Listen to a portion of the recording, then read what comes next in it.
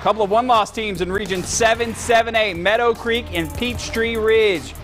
First quarter, those Meadowcreek Mustangs and Jordan Louie is led out of the stable to gallop. He weaves towards the sideline, dodges some tacklers. It's a foot race, 70 yards to the end zone. So many long touchdowns tonight early. Love it.